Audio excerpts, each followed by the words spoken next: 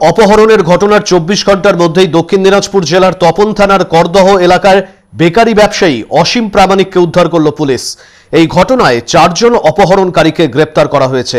শনিবার ধৃতদের দক্ষিণ দিনাজপুর জেলা আদালতে তোলা হয়। উল্লেখ্য, বৃহস্পতিবার গভীর রাতে পাউরুটি কেনার নাম করে দক্ষিণ দিনাজপুরের তপনের করদহ হাই স্কুল পাড়ার বাসিন্দা পেশায় বেকারি ব্যবসায়ী অসীম প্রামাণিককে অপহরণ করে একদল দুষ্কৃতী।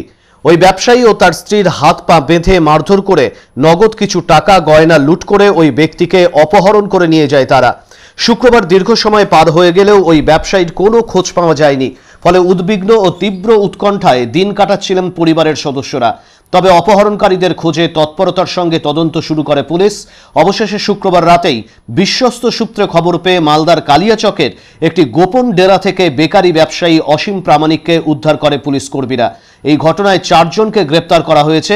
পুলিশ জানিয়েছে, ধৃতদের নাম পরিমল সরকার, এরাজুল হক ও আশিক শেখ। এর মধ্যে ধৃত পরিমল সরকার, অপহৃত ব্যবসায়ীর মাস্তুতো ভাই। শনিবার ধৃতদের বালুরঘাট জেলা আদালতে তোলা হয়। সরকারি আইনজীবী সুদীপ্ত দাস জানিয়েছেন, অপহরণকারীদের বিরুদ্ধে বেশ কিছু ধারায় মামলা রুজু করা হয়েছে। আদালতে তোলা হলে বিচারক ধৃতদের চোদ্দ দিনের পুলিশি হেফাজতের নির্দেশ দেন। বিষয়টা হচ্ছে জায়গাটা হচ্ছে তপন থানার পদ্মহ রাত্রি সাড়ে এগারোটার সময় ঘটনাটা। এই চারজন দুষ্কৃতী রেজাউল হক এরাজুল হক এবং হচ্ছে আশিক শেখ। এই তিনজন ওই দোকানে গিয়ে ঢুকে বলে যে আমরা শ্মশানে মানে যাচ্ছি মরাপড়াতে খাবার পাচ্ছি না। এই নামে গিয়ে দোকানে ঢুকে গিয়ে ওনাকে গিয়ে মারধর করে।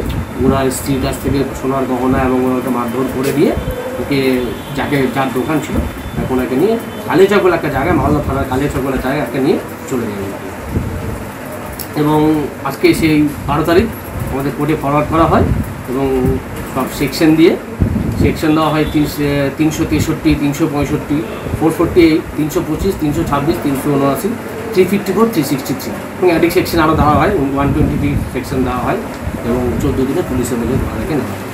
এদিকে উদ্ধার হওয়া বেকারি ব্যবসায়ী অসীম প্রামাণিককে আহত অবস্থায় বালুরঘাট সুপার স্পেশালিটি হাসপাতালে ভর্তি করা হয়েছে।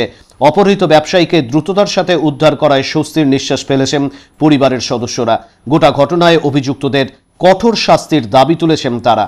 পর্দা থেকে আমার হচ্ছে ওই যে কালিয়াচক হ্যাঁ, তাই তো কালিয়াচক থানা তো গেছিল।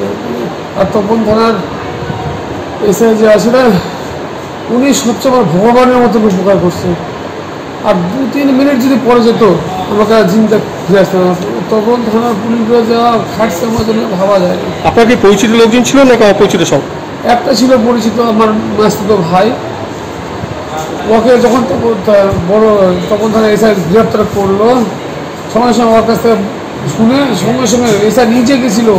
ইয়েতে আপনার হচ্ছে ওখানে আমাকে নিয়ে আসার জন্য। মানে আপনার মাস্টার ভাই আপনার সঙ্গে কেন করল ষড়যন্ত্রের সঙ্গে?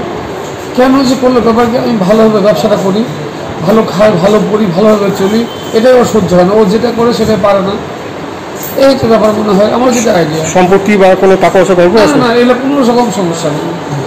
আমি চাই যত ইয়ে শাস্তিটা হোক আমাকে মেরে ফেলতো।